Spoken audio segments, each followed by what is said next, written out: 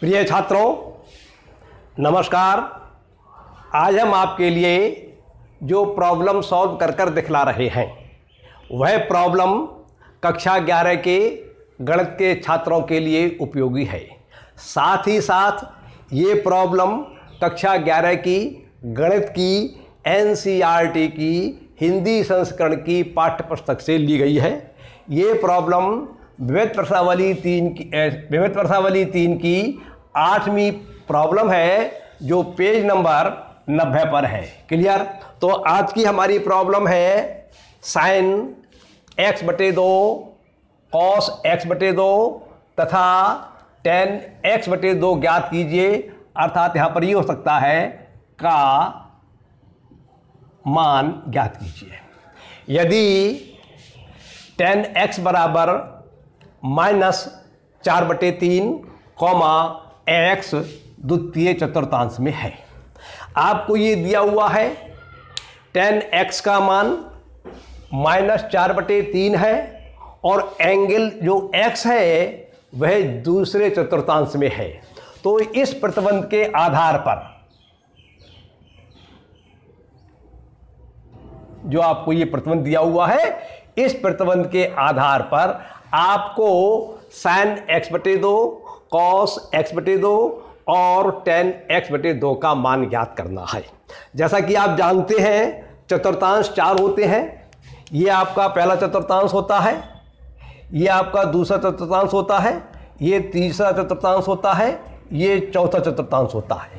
पहले चतुर्थांश के अंदर जो कोण होते हैं, वो ज़ीरो से लेकर पाई बटे दो तक के होते हैं। या ज़ीरो से बड़े और पाई बटे दो से छोटे होते हैं। और दूसरे चतुर्थांश के अंदर जो कोण होते हैं, वे कोण पाई बटे दो से बड़े होते हैं और पाई से छोटे होते हैं। इसी प्रकार से अन्य में हिसाब आप जानते होंगे। अब कहने का तात्पर्य यह है कि दूसरे चतुर्थांश के अंदर साइन एक्स और कौशिक एक्स ये दो त्रिकोणमितीय अनुपात जो होते हैं, इनका मान तो पॉजिटिव होता है। और अन्य चार जो बचे tan x cot x sec x और कॉस एक्स उनके मान निगेटिव होते हैं।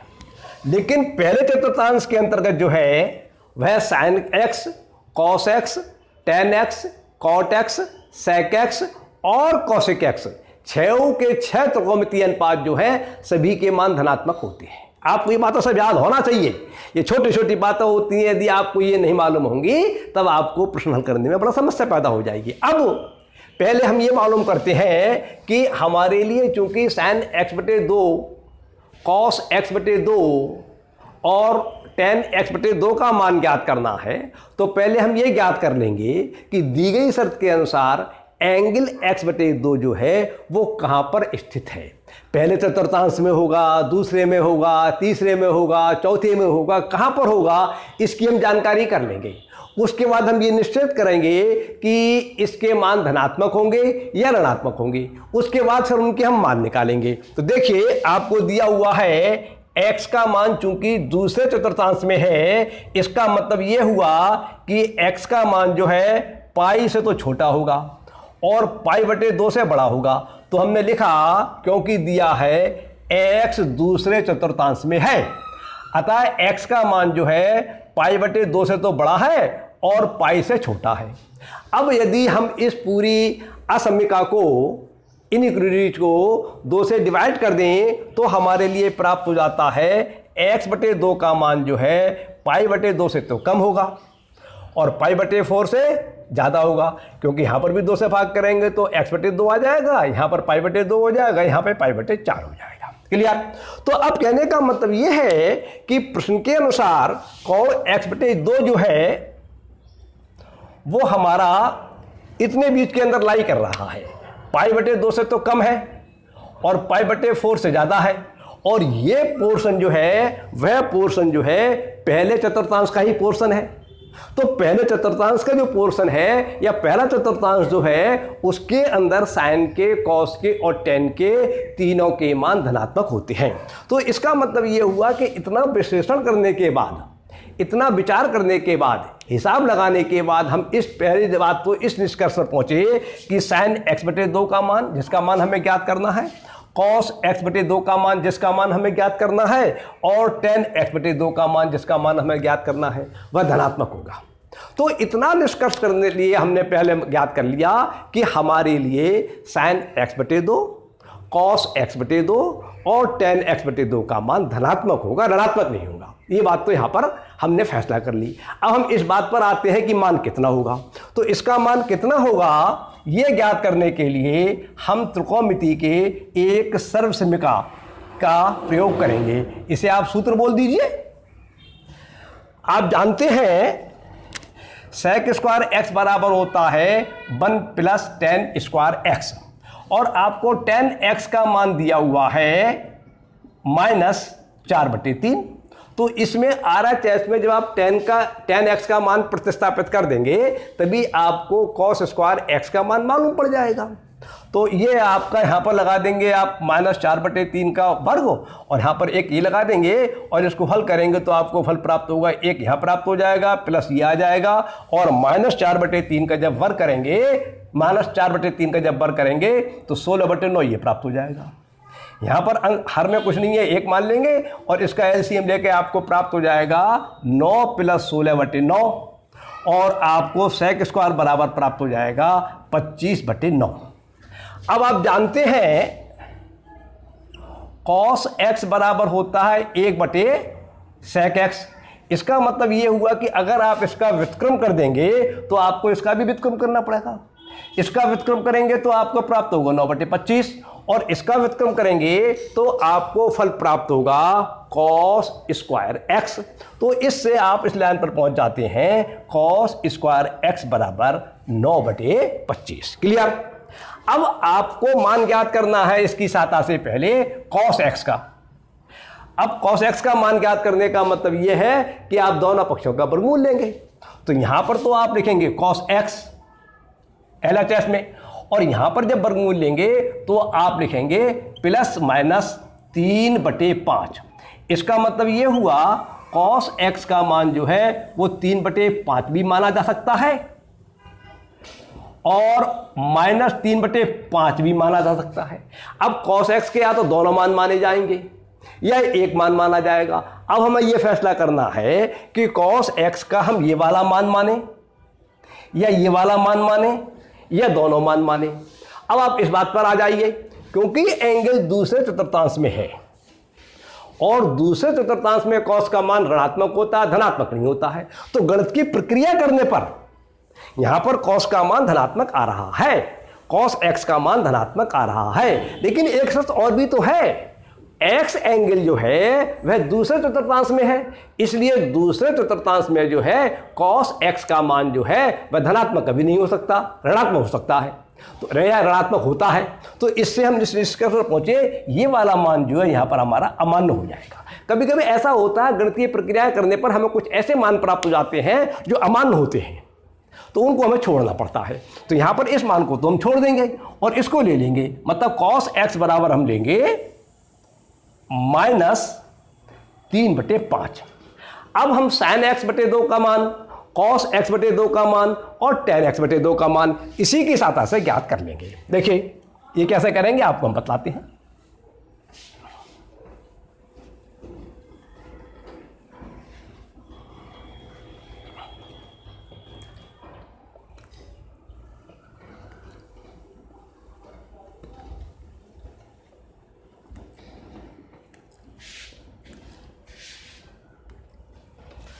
आपको यह फल प्राप्त हो चुका है कॉस एक्स बराबर माइनस तीन बटे पाँच। क्लियर अब आपने छोटे क्लासों में हाई स्कूल में एक सूत्र पढ़ा था। कॉस एक्स बराबर होता है टू कॉस स्क्वायर एक्स बटे दो माइनस वन और कॉस एक्स बराबर होता है one minus two sine square x बटे दो। तो हम साइन एक्स बटे दो का और कॉस एक्स बटे दो का मान निकालने के लिए इन्हीं दोनों सूत्रों का प्रयोग करेंगे। तो पहले हम इससे अगर कॉस एक्स बटे दो का मान निकालना चाहते हैं, तब तो हम इस सूत्र का प्रयोग कर लेंगे। और पहले हम साइन एक्स बटे दो का मान निकालना चाहते हैं तो हम इस सूत्र का प्रयोग कर लेंगे। तो पहले चूँकि साइन एक्स बटे दो का मान निकलवाया है, इसलिए हम पहले साइन एक्स बटे दो का ही मान निकाल लेते हैं। तो यहाँ पर लिखेंगे वन माइनस दो साइन स्क्वायर एक्स बटे दो बराबर माइनस तीन बटे पाँच। अब इसको पक्षांतर करने कराने के बाद हमारे लिए लाइन प्राप्त हो जाएगी दो साइन स्क्वायर एक्स बटे दो बराबर वन प्लस तीन बटे पाँच। ये पक्षांतर करेंगे। इसको पहले आप माइनस से भाग कर दी, गुणा कर दीजिए। तो ये पॉजिटिव हो जाएगा, ये पॉजिटिव हो जाएगा, ये नेगेटिव हो जाएगा। और फिर इसको पक्षांतर कर दीजिए आप। तो ये इस तरह जाएगा तो पॉजिटिव हो जाएगा। या जिस तरह से आप समझना चाहिए तो समीकरण की बातें हैं, छोटे क्लास की बातें आप जानते होंगे। अब आप इसका एल्सियम ले लीजिए। पाँच, और यहाँ पर कुछ नहीं है, एक मान लेंगे तो पाँच प्लस तीन आपको ये प्राप्त हो गया, और आपको ये प्राप्त हो गया आठ बटे पाँच। तो आपको फल प्राप्त हुआ दो साइन स्क्वायर एक्स बटे दो बराबर आठ बटे पाँच के। और इससे आपको फल प्राप्त होता है साइन स्क्वायर एक्स बटे दो बराबर आठ बटे दो गुणा पाँच के, और इससे काटेंगे चार आ जाएँगे। आपके तो इससे आपको फल प्राप्त हुआ साइन स्क्वायर एक्स बटे दो बराबर चार बटे पाँच के। अब आप साइन एक्स बटे दो का मान निकालना चाहते हैं। तो आप फिर यहाँ पर आइए। दोनों पक्षों का वर्गमूल लेंगे। तो साइन एक्स बटे दो बराबर आएगा प्लस माइनस दो बटे अंडर रूट पाँच। क्लियर अब या तो साइन एक्स का मान दो बटे अंडर रूट पाँच होगा, या साइन एक्स बटे दो का मान माइनस दो बटे अंडर रूट पाँच होगा। लेकिन चूँकि एंगल एक्स बटे दो जो है, वह पहले चतुर्थांश का ही एक भाग है। आपको हमने करके दिखलाया था। तो और पहले चतुर्थांश में जो है साइन का मान पॉजिटिव होता है नेगेटिव नहीं होता है। इसका मतलब यहाँ पर ये वाला मान हमारा अमान्य है। तो यहाँ पर हमारा साइन एक्स बटे दो का मान निकल के आया हमारा दो बटे अंडर रूट पाँच। क्लियर अब ऐसा है कि इस मान को हम हर में जो है, उसका अधिकांशता पर कड़ कर देते हैं। तो अच्छा लगता है। तो हर का परमण करने के लिए आप कर दीजिए कि आप दो गुणा अंडर रूट पाँच बटे अंडर रूट पाँच गुणा अंडर रूट पाँच, अंडर रूट पाँच से अंश में गुणा कर दीजिए, अंडर रूट पाँच से हर में गुणा कर दीजिए। तो आपको प्राप्त हो जाएगा साइन एक्स बटे दो बराबर दो अंडर रूट पाँच बटे पाँच उत्तर। इस प्रकार से आपका ये साइन एक्स बटे दो का मान प्राप्त हो गया। क्लियर अब हम कॉस एक्स बटे दो का मान याद कर रहे हैं। तो देखिए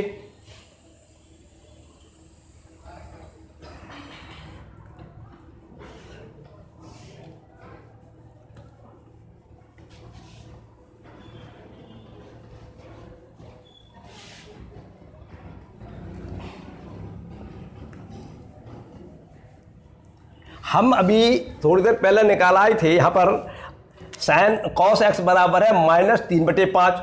और हमने आपको बताया था कॉस एक्स बराबर होता है दो कॉस स्क्वायर एक्स बटे दो माइनस वन।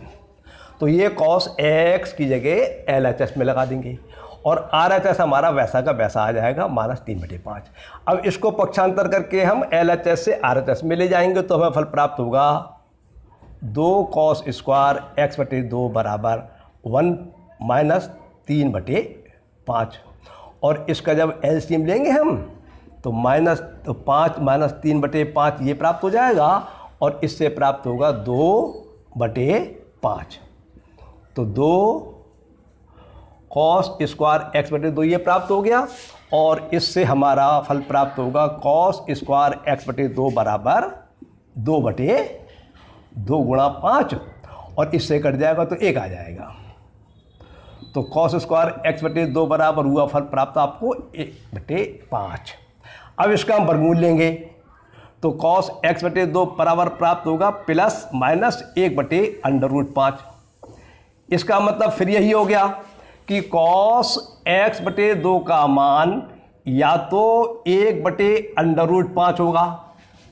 या माइनस एक बटे अंडर रूट पाँच होगा। लेकिन जैसा कि हम निर्णय कर आए थे पहले ही कॉ एक्स बटे दो एंगल जो है, वह हमारा पहले चतुर्थांश का भाग है और पहले चतुर्थांश के अंतर्गत कॉस का मान जो होता है धनात्मक होता है। इसका मतलब ये वाला मान तो माना नहीं जाएगा।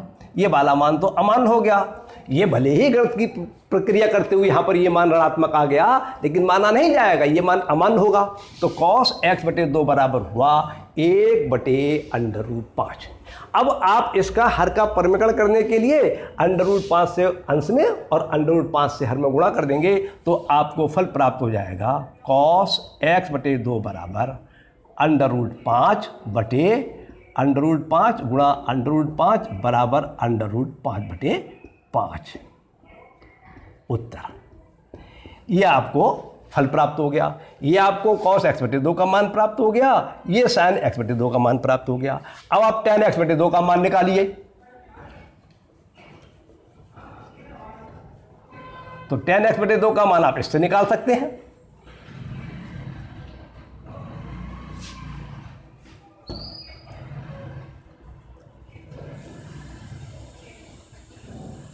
टेन एक्स बटे दो बराबर होगा साइन एक्स बटे दो और कॉस एक्स बटे दो। और साइन एक्स बटे दो का मान आपका निकल के आ जाए कितना? दो अंडर रूट पाँच बटे पाँच। और इसका मान निकल के कितना आया है आपका? कॉस का। इसका मान निकल के आया है अंडर रूट पाँच बटे पाँच। तो ये बटे के बटे है, ये बटे के बटे। तो ये वाले जो है, ये भिन्न पलट जाएगी तो आपको प्राप्त हो जाएगा दो बटे अंडर पाँच, बटे पाँच गुणा पाँच बटे अंडर पाँच।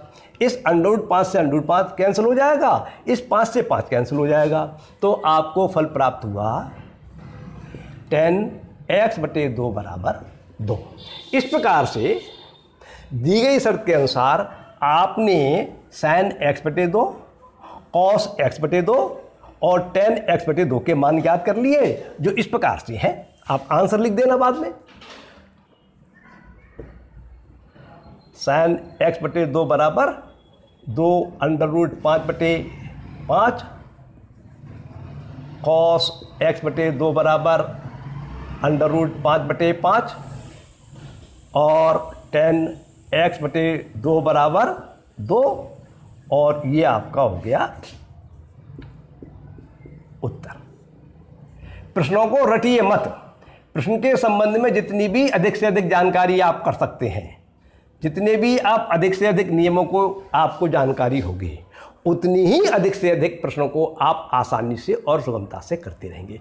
टेन एक्स का मान कितना होता है? माइनस कब माना जाता है? पॉजिटिव कब माना जाता है? नेगेटिव कब माना जाता है? कौन कौन से सूत्र होते हैं?